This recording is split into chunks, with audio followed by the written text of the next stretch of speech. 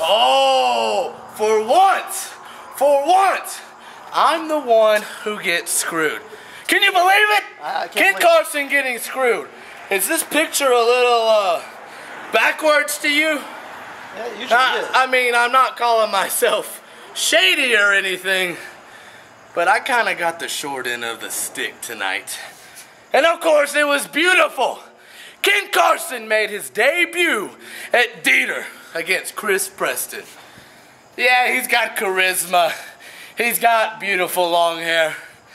But he comes out and he challenges me, Ken Carson, to a pose off. Did you see it? I saw it. I mean, anybody comparable to Chris Preston would be uh, uh, Pee Wee Herman. sign boy. I'm not gonna say anything. I think you catch my drift here.